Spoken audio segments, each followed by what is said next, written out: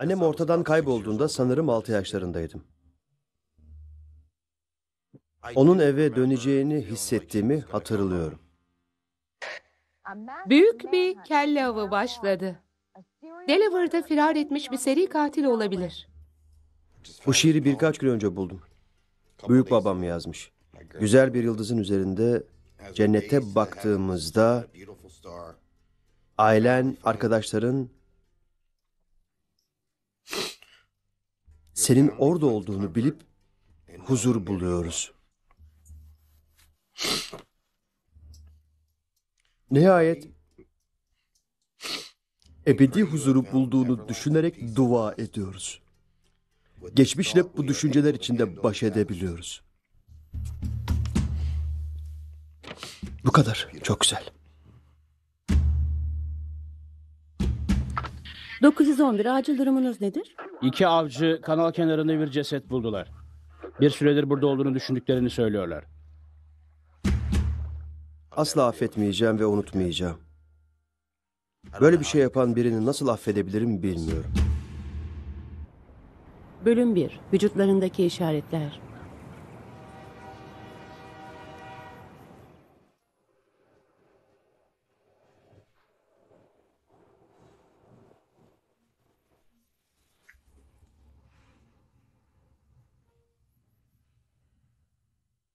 Sanırım saat dokuz buçuk on sıralarıydı. Ortağım bana bir cinayet işlendiğini ve olayın Baltimore asfaltındaki endüstriyel parkta olduğunu söyledi. Bana bir ceset buldular dedi. 29 Kasım 1987'de dedektif Joseph Swirsky olay yerine ulaştı ve kurbanı kendi gözleriyle gördü.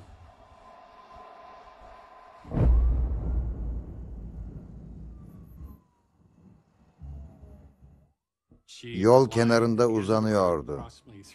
Bordür hattına yaklaşık 90 santimetredeydi. Sırt üstü yatıyordu. Pantolonu dizlerine kadar inmiş, tişörtü açık ve göğüsleri ortadaydı. Fark ettiğim bir diğer şey de çevresinde hiçbir karışıklık olmamasıydı. Yani sanki bulunduğu yere atılmış gibi görünüyordu. Gerçek olay yeri fotoğrafı. Taşlarının arkasında bir parça yapışkan bant bulduk. Bu bandın onun ağzına kapatılmış olduğunu anladık. Göğüs bölgesinde yaralanma vardı, karnında da izler, ellerinde de izler vardı. Saldırganı ile mücadele etmiş gibi görünüyordu. Tabii bir yandan bir cinayet vardı ama bir yandan da tam anlayamadığım bu yan unsurlar da eklenmişti. O dönemde bunların ne anlama geldiğini anlamamıştım.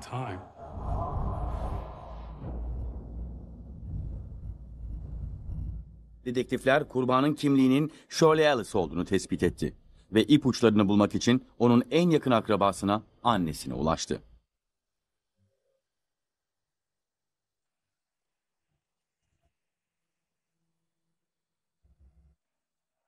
Birinin neden öldürüldüğüne karar vermeye çalışırken fizyolojik etkenlere bakarız. Onun hayat tarzını, hayat tercihlerini elimizden geldiğince öğrenmeye çalışırız. Bayan Ellis, Shirley'e bunu yapan kişi onu tanıyor olabilir. Aklınıza ona öfkeli olan biri geliyor mu? Hayır. Shirley Ellis sokaklarda yaşamaya alışkındı. Önceden fahişelik nedeniyle tutuklanmıştı ve eski bir uyuşturucu kullanıcısıydı. Yani onun fahişe ve uyuşturucu patronlarının ve bununla ilgili kişilerin etrafında dolaştığını biliyorduk. O, o iyi bir kızdı. Öldüğü gece annesine hastanede yatan iki arkadaşını ziyaret edeceğini söylemişti. Otostop çekip arabaya atlar ve istediği yere ulaşırdı. Kız kardeşi onu 40 numaralı güzergahın doğu yönünde Wilmington şehri yolunda bankette gördüğünü söylemişti. Akşam saat 6 sularıydı. Shirley hiçbir zaman hastaneye varamadı.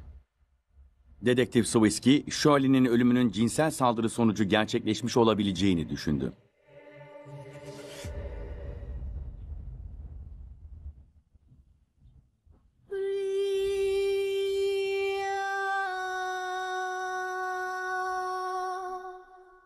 Olay yerinde cesedi gördüğünüzde cinsel saldırıya uğradığını düşünebilirdiniz.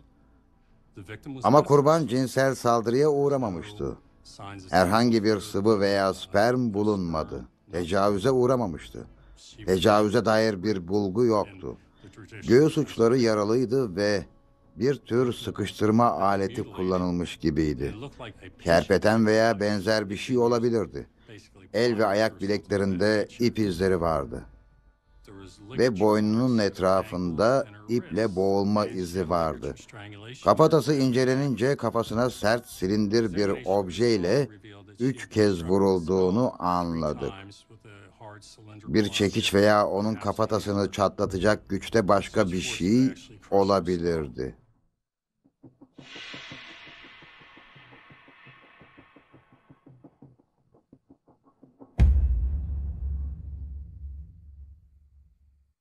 Kathleen Jennings, Delaware eyaletinin başsavcı vekiliydi. Öldürülmeden önce ona işkence yapılmıştı. Bu oldukça sıra dışı ve oldukça rahatsız ediciydi. Daha önce de kimi dehşet verici cinayet olayları görmüştüm. Ama bu tasarlanmış gibi gözüküyordu. Daha önce böyle maksatlı, önceden tasarlanmış ve soğukkanlı bir cinayete hiç denk gelmemiştim.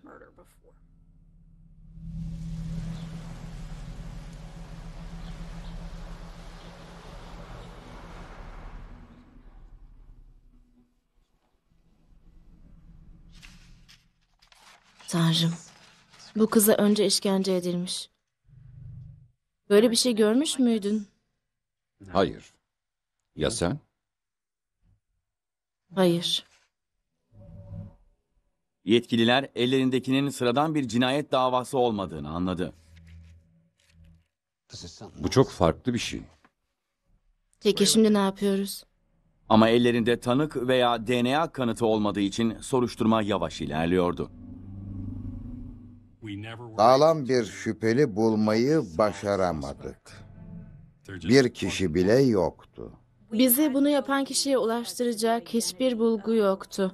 Sadece bu cinayetin sadistçe işlendiğini ve bu tip cinayetlerin nadir olduğunu biliyorduk. Ve 7 ay geçti. Hı. 29 Haziran 1988 sabahı 40 numaralı güzergahın dış bölgesinde bir inşaat alanından çağrıldım. İşin acil olduğu söylendi.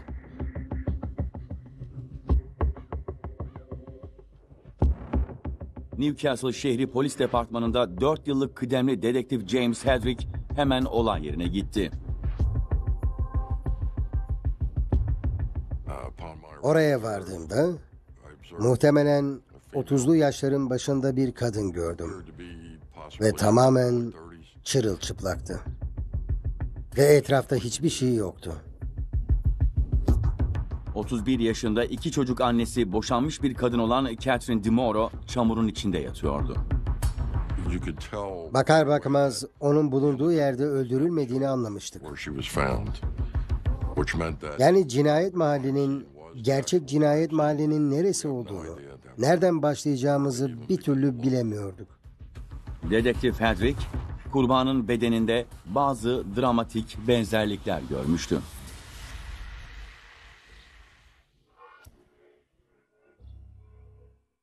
Belirgin yaralar vardı. Bilirsiniz göğüs bölgesi, ellerin ve ayakların bağlanması gibi. Normal bir cinayette göremeyeceğiniz türde izler. Hepimiz bundan önceki davadan bu gördüklerimize aşinaydık. Ve onların suç mahalline gelip 1987 yılındaki kendi davalarına benzeyip benzemediğine bakmalarını istedik. Ve onlardan olayı karşılaştırmalarını istedik.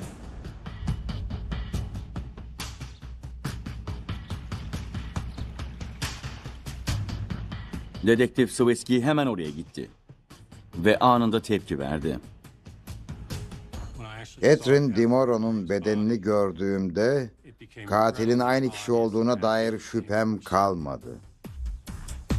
Kathy'nin cesedinin bulunmasıyla beraber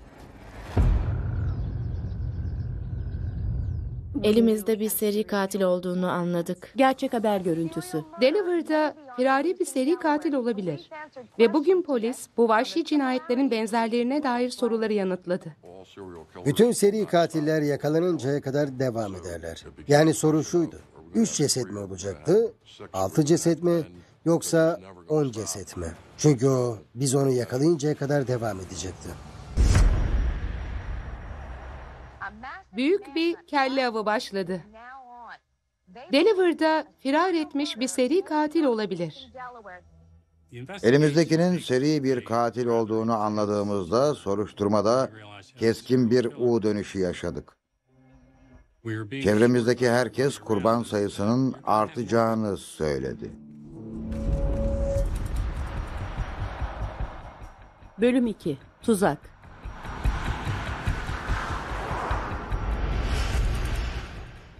Sorgu yargıcının raporunu çıkarmaya devam edin. Dedektifler James Hedrick ve Joseph Swirsky daha önce bir seri katili avlamamıştı. Bu yüzden işin uzmanlarını çağırdılar. FBI'yi. Fotoğraflarımızı sunduk. Bütün olay yeri çalışmalarımızı ve iki soruşturmadan o ana kadar topladığımız delilleri sunduk. Topladığınız kanıtlara bakınca şüphelinizin beyaz tenli olduğuna karar verdik. Muhtemelen 20'lerinde veya 30'larının başında. Aramamız gerektiğini düşündükleri kişinin davranış profilini çıkarttılar. Maço tavırlı bir tablo çizecekti. Sadomazo pornografik bakış açısı olabilirdi. Elimden geldiğince hızlı yazmaya çalışıyordum çünkü bunlar benim için yeni bilgilerdi. Ve bunlar Amerika Birleşik Devletleri'nin her yerinden seri katillerle yapılan görüşmelerinden toparlanmıştı. Şu an olaya mantıkla baktığımızda bir seri katil uzmanı değilseniz ipuçları bile o kadar net değildi diyebilirim. Ama ipuçları şunlardı. Bu cinayetlerin birbirine yakın mesafelerde işlendiğini biliyorduk. Ve davranışsal bilimciler bize bu kişinin bu cinayetleri konfor bölgesinin dışında yani 40 numaralı güzergahta işlediğini yani bunu yapmak için bir alana ihtiyaç duyduğunu söylemişti. Aynı zamanda bu kişinin insanlara işkence edip onları öldürmek için bir araca ihtiyacı olduğuna inanıyorduk. Ama henüz hiçbir şey net değildi. Katillerine dair özel bir detay dedektifleri hayrete düşürdü. Muhtemelen el emekçisi biri. Belki bir inşaatta veya benzeri bir yerde çalışıyor. Nasıl böyle bir karara varmışlardı? Ve sonra hızlıca onun rahatça kullandığı aletlerle cinayet işlediğini söylediler. Çekiçler, kerpetenler. Bunlar muhtemelen her gün kullandığı aletler. Bu adamın arka bahçenizde olması çok olası.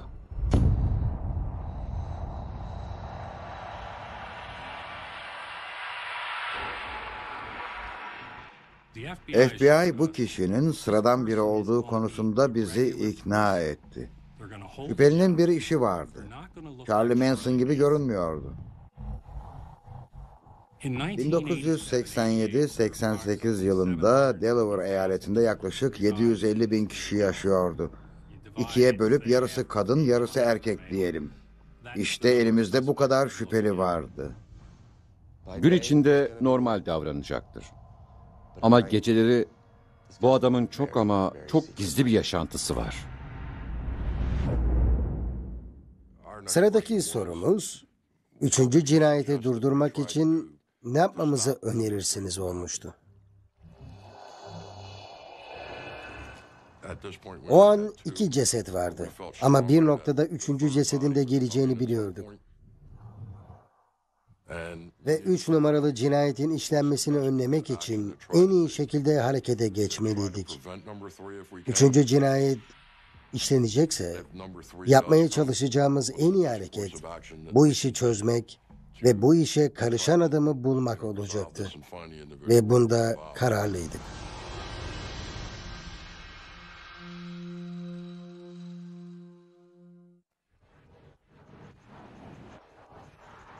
Ajanlar Swiski ve Hedrick'e seri katilin kendilerine gelmesini sağlamalarını söyledi. Bir tuzak operasyonu yürütmemizi önerdiler. Kadın bir polis memuruna kurbanlarımızın son giydiğine benzer kıyafetler giydirmemizi, onu yakın çevrelere yerleştirmemizi ve fahişelerin yapacağı türden konuşmalar yaptırmamızı önerdiler.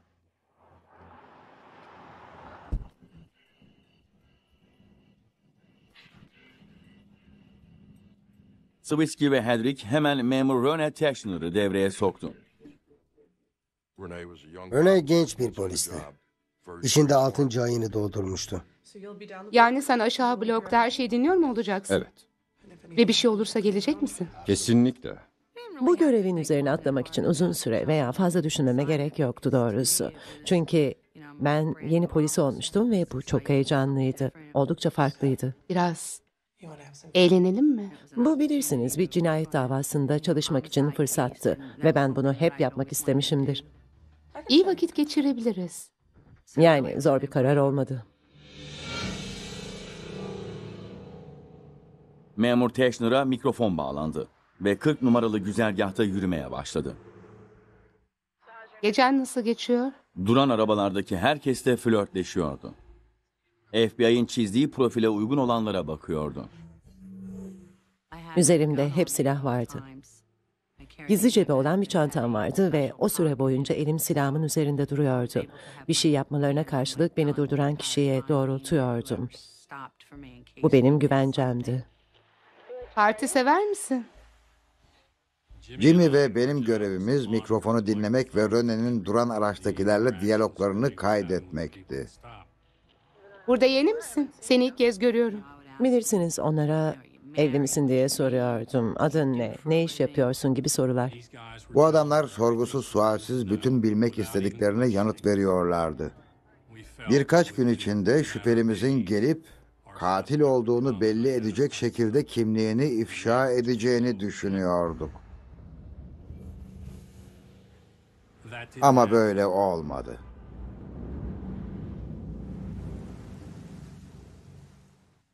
Bölüm 3. Katilin aldıkları.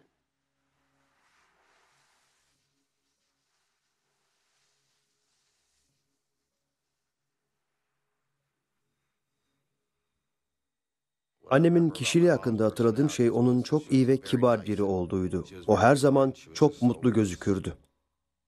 O çok iyi biriydi. Onun üzgün olduğunu hiç hatırlamıyorum. Keşke daha fazlasını hatırlasaydım.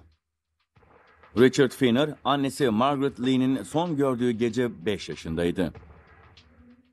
Annemin gittiği gece ben ve küçük kardeşim yatağımızda uzanıyorduk. Uyumaya hazırlanıyorduk. Annem geldi. Bizi sevdiğini söyledi.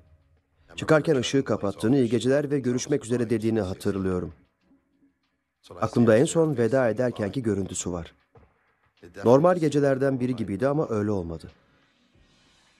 Ve onu bir daha hiç görmedim.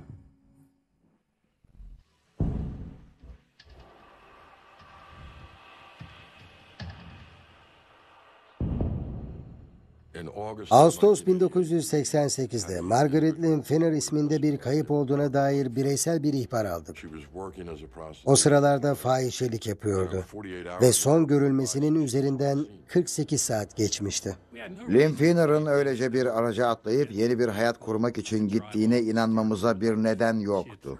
İki çocuğu, annesi ve babası vardı ve hemen onun kurban olabileceğini fark ettik.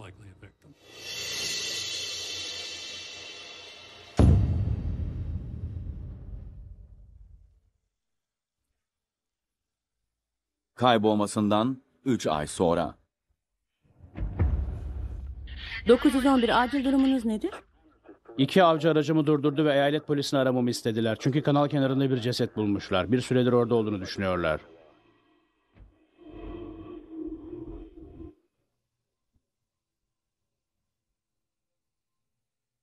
Onun eve döneceğini hissettiğimi ve beklediğimi hatırlıyorum.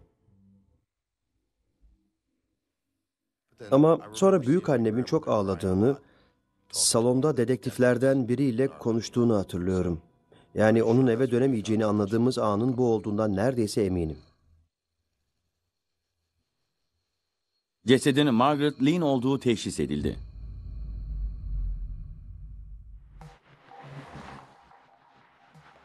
Bu nasıl olmuştu? Müfettişler 40 numaralı güzergahta her akşam devriyeye çıktı. Şüpheli tam burnumuzun dibinde çalışıyordu ve onu gözden kaçırıyorduk. Dedektiflerin acil olarak bu davada bir kırılmaya ihtiyaçları vardı. Yani en son onu burada mı gördünüz? Evet, ben burada gördüm ve Ve kaybolduğu gün Margaret Lee'ni gören bir tanığa ulaştılar. Bize verdiği ifadede yuvarlak farları olan mavi bir aracın onun bulunduğu geçide geldiğini ve Margaret'ın o geçitte bu kişiyle camdan konuştuğunu söyledi. Sonra arabaya atlamış ve araç hareket etmişti. Arabanın içinde ışık yanıyor muydu diye sorduk. ben uzaktaydım. Karavanın içini göremiyordum. Aracın içindeki kişi veya kişilerin tarifini yapamamıştı. Sadece aracın mavi bir karavan olduğunu söyledi. Tanığın Margaret'ın bindiği araçla ilgili yaptığı tarif yetersizdi. Ama bu da bir şeydi. Mavi bir karavan arıyorduk. Ve artık Rene Teschner da arıyordu. Haftalarca geceler boyu 40 numaralı güzergahta yürüdükten sonra şansı yaver gitti. Karavan durdu ve adam karavana binmemi işaret etti. Rene araca yaklaşırken Swirsky ve Hedrick de tetikteydi. Senin adın ne? Bir önemi var mı? Dedektifler adamlarını bulmuş muydu? Hadi binsene.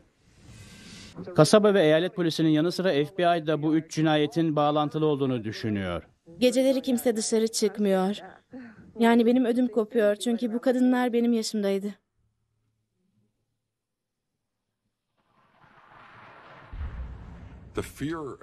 Herkes bunun bir daha olacağından ve bir kurbanın daha öleceğinden korkuyordu. Bu kızlar geceleri yolda tek başınalardı ve biri gelip onları alıyordu. Ve biz mavi bir aracın dışında ne aradığımızdan bile emin değildik.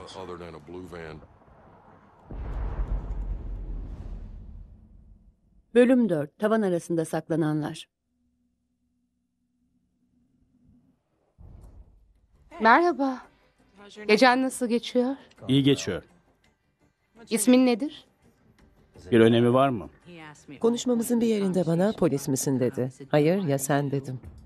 Dedektifler Hedrick ve Swirsky mikrofondan şüphelinin Rene'nin arabaya binmesinde ısrarcı olduğunu duydu. Hadi bin Hey, şuna. bu işler böyle yürümüyor. Bu şüphelerimizi yoğunlaştırdı. Arabaya binmesi için neden bu kadar ısrar ediyordu ki? Benimle gel. Neyse boş ver. Memur Teschner reddedince adam uzaklaştı.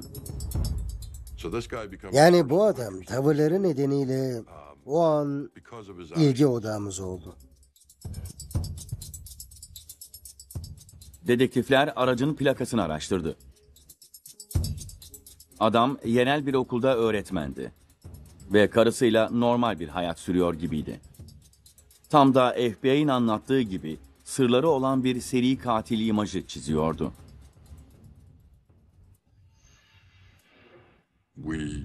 Arama izni çıkartmak için yeterli bilgiyi topladık. Yaşadığı eve gittik. Karısı o sırada evdeydi. Aramaya başladık. Delil ekibi üst kata çıktı.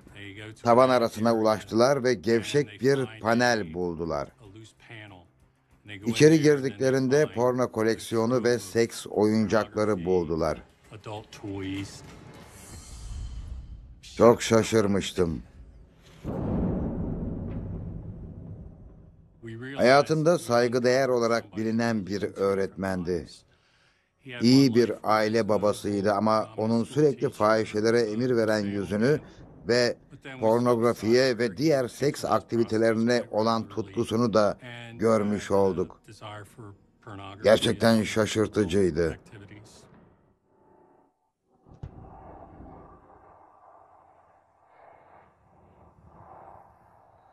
Onunla uzun bir görüşme yaptık. Sanırım ikinci bir gizli yaşantın var. Ne olmuş yani?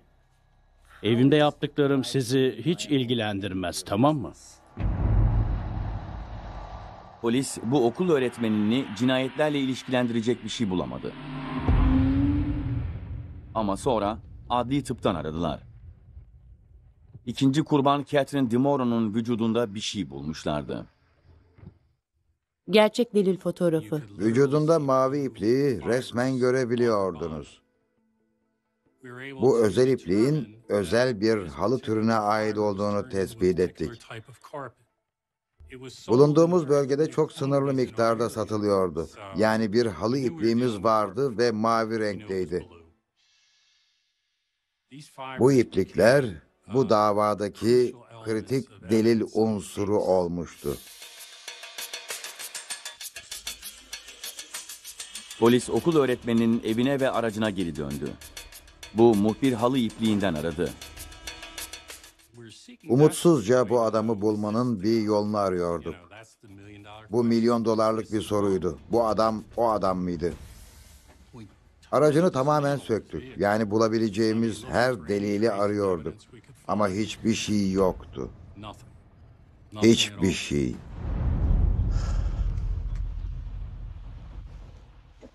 Adamı cinayetlerle ilişkilendirecek sağlam hiçbir şey yoktu.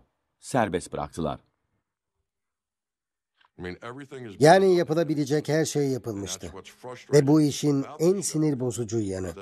Yapılabilecek her şeyi yapıyorsunuz ve bazen olumlu sonuçlar alamayabiliyorsunuz. Bu mümkün. Yoğun zamanlardı. Çünkü o dışarıdaydı. Bütün çabalarımıza rağmen bu adamı yeniden atağa geçmeden önce bulamayabilirdik. Ve bu hepimizi çok korkutuyordu. Olaylar bölgeyi sallamıştı. Ve biz yaşamlarımızın güvenliğini yeniden sorgulamaya başlamıştık. Glasgow seri cinayetler davasında bugünün gelişmeleri. Delaware eyalet polisi üç kadının ölüm tasvirinin yerinin ve zamanlamasının benzer olduğunu söyledi. Bölgedeki insanlar için uyarı yapıldı ve 13 ile 40 güzergah arasında yürümemeleri tembihlendi. Müfettişler okul öğretmenini yakından incelerken memur Teşner fahişe rolüne devam ediyor ve mavi aracı olan başka adamlar arıyordu. Eylül 1988'de bir gece sıra dışı bir adamın kullandığı bir araçla karşılaştı. Uzandı ve kilidi açtı ve bilirsiniz orada durmuş onunla konuşuyordum. Tek başıma dolaşmaktan sıkıldım. Evet, durman da bir başlangıçtır öyle değil mi? Ne iş yapıyorsun? Elektrikçiyim. Kaç yaşındasın? 34. 34 mü?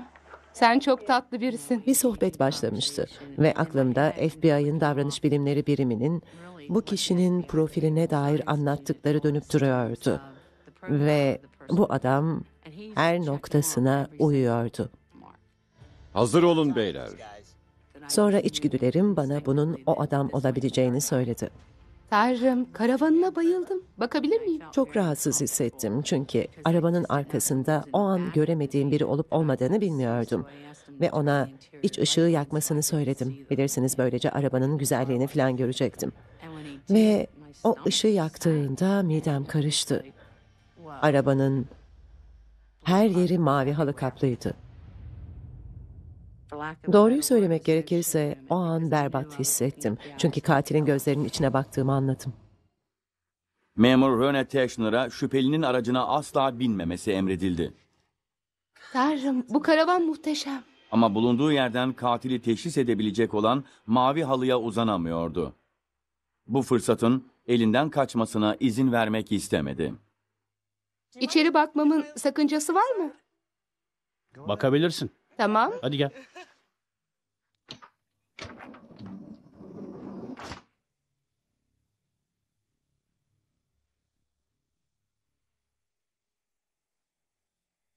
Aman tanrım, bu halı muhteşem. Gorgeous.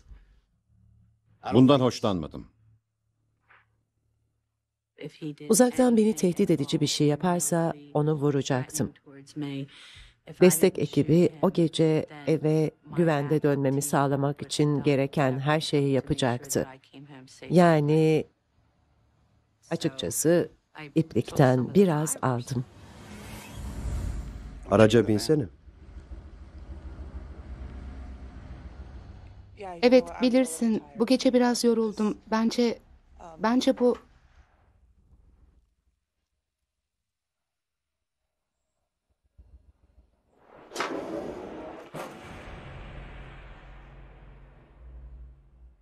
Bölüm 5. Yanlış adam mı?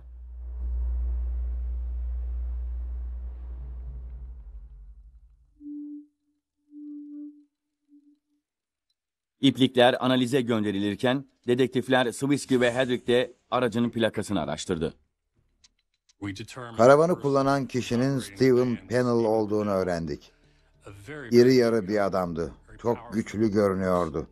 Ama normal bir görünümü vardı. İşi vardı. Elektrikçiydi, evliydi. İki çocuğu olan sıradan biriydi. Bu adam çok garip veya benzeri bir şey söyleyeceğimiz bir durumu yoktu. Her şey normal görünüyordu. Geçmişini araştırdık. Aslında kendi normal bir adamdı. Ticari Elektrikçiler Sendikası'ndandı. Wilmington şehrinde polis memuru olarak başvurmuştu. Onun hakkındaki her şey normal görünüyordu. Her gün rastlayacağınız türde bir adamdı. O sıradan biriydi.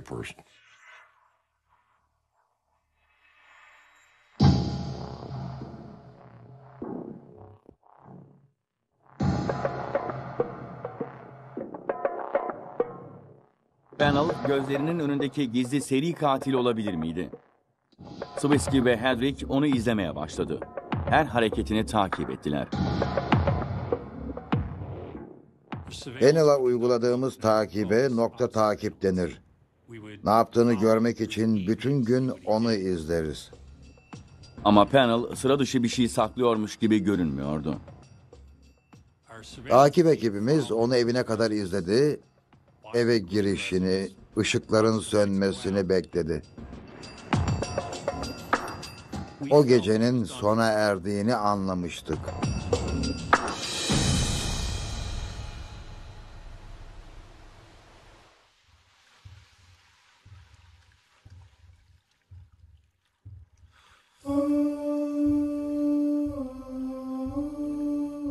September 22 Eylül'de CD kanalında bir cesedin yüzdüğü ihbarını aldık. Bunun bağlantılı bir dava olduğunu biliyorduk çünkü yaraların yapısı Dimaro ve Elis'inkilerle aynıydı. Elleri ve ayakları bağlanmıştı. Ve böylece bu kadının da onun bir kurbanı olduğunu anlamıştık. Kesinlikle katil aynı kişiydi. Kızın 22 yaşındaki Michelle Gordon olduğu tespit edildi.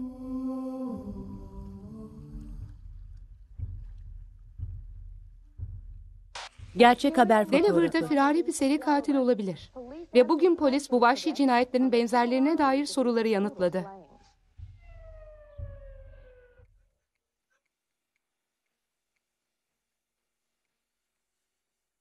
Müfettişler sarsılmıştı. Onlar Stephen Pennell'ı izlerken katil yeniden vurmuştu. Acaba yanlış adamı mı takip ediyorlardı? Boşa mı dönüyorduk? Doğru adam mıydı? Yanlış adam mıydı? Çünkü o çok normal görünüyordu. Bu soruşturmaya katılan herkes gücünden çok daha fazlasını veriyordu. Ama bu işi halledemediğimizi hissediyorduk. Kendimizi tamamen sorumlu hissediyorduk.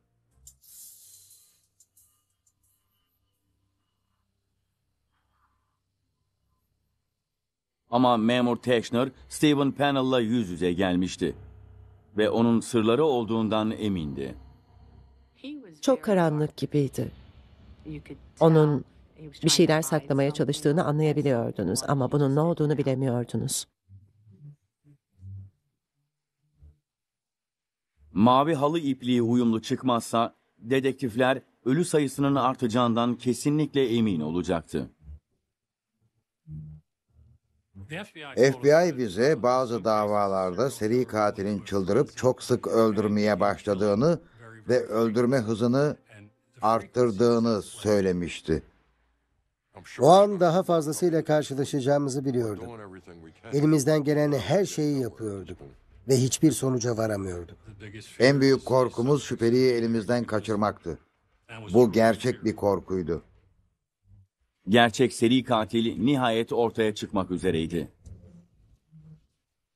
Kontrolünü kaybetmeyi, sana işkence eden ve sonunda seni öldürecek olan bir canavarın yüzüne baktığını hayal bile edemiyorum doğrusu. Bu gerçekten çok korkunç bir şey.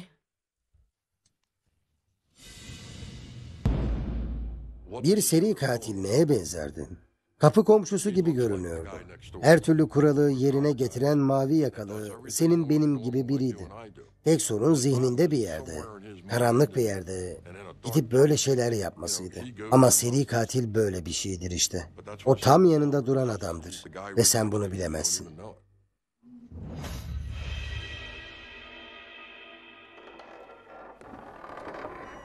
Bölüm 6. Kulübedeki sırlar.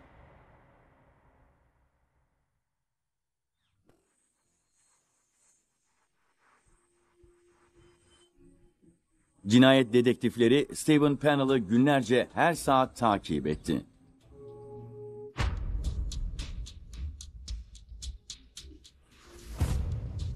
Bu sıradan görünümlü elektrikçi, yerel fahişeleri izleyen gizli bir seri katilse bile kendini ele verecek hiçbir şey yapmamıştı. Yani bu adamın epey normal olduğunu düşünüyorduk. Evine gidiyordu, yatağına giriyordu, ışıkları söndürüyordu. Ertesi gün işe dönüyordu. Değişik bir durum yoktu.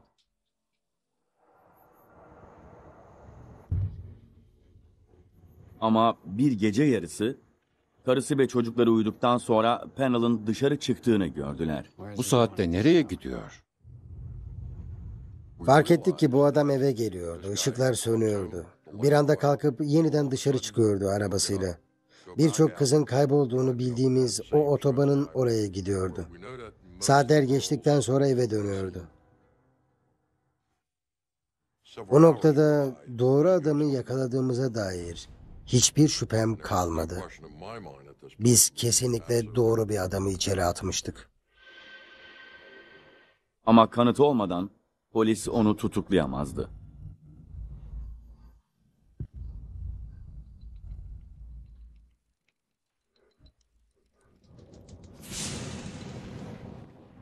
Yanıtsız geçen her gün Steven Pennell'ın yeniden sokaklarda dolaşmasına yol açıyordu.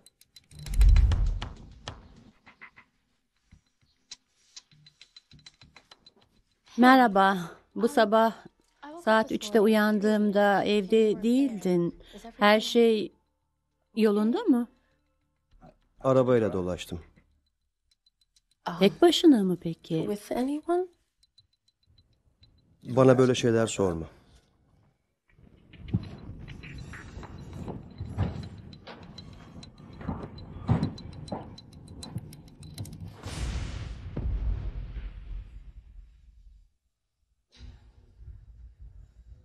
Nihayet polis FBI'dan beklediği yanıtı aldı. Kurbandan alınan halı ipliği Pennell'ın aracındakine uyuyordu. Pennell'ın evinde tam arama izni çıkarmak için bu kadarı yeterliydi. Bay Pennell'ın evinin çevresinde arama yaptığımız sırada bir kulübe bulduk. Ve kulübenin içine girdiğimizde farklı bir şeyler olduğunu fark ettik. Kapıyı tutan bir çubuk vardı ama iç taraftaydı. Yani siz kulübenin içindeyken içeri kimse giremiyordu. Kaset dolabında pornografik kasetler bulduk ve kasetin belli yerleri oldukça rahatsız ediciydi. Bir kadın özellikle göğüs ucu yaralanarak sadist bir muameleye maruz kalıyordu. Yapışkan bant bulduk. Kerpeten bulduk. Çekiç bulduk. Ve onu tutuklamamızı sağlayan son bir kanıt bulduk. Bu da karavanındaki halıda bulunan ve Keti Dimoro'ya ait olan kan izleriydi.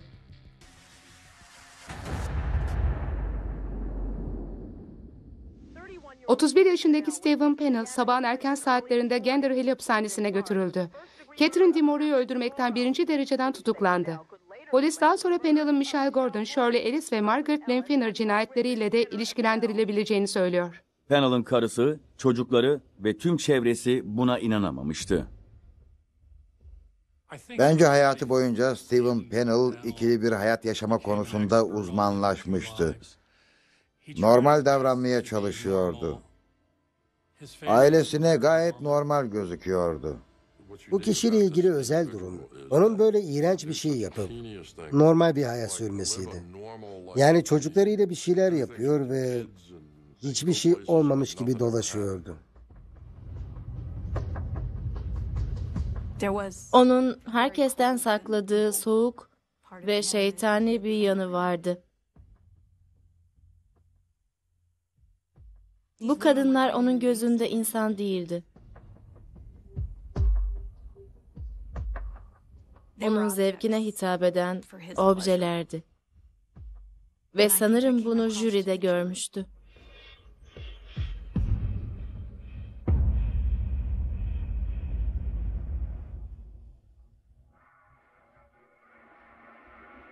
Sekiz günlük görüşmenin ardından Stephen Pennell iki cinayetten hüküm giydi. Hapishanedeki ikinci yılında Stephen Pennell yargıç Richard Gablin'den idam cezasını uygulamasını istedi. Yargıç kabul etti. 14 Mart 1992 yılında deri altı şırıngasıyla infaz edildi.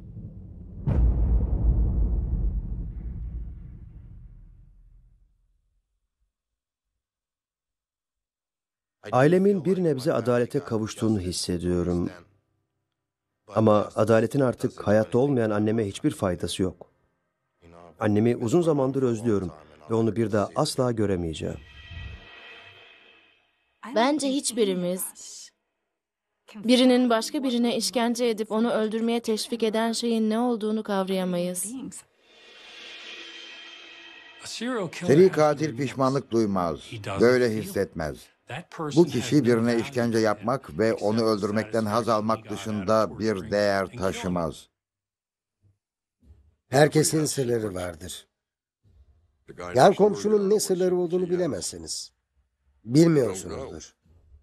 Bunu asla görmeyecek olmanız çok normaldir.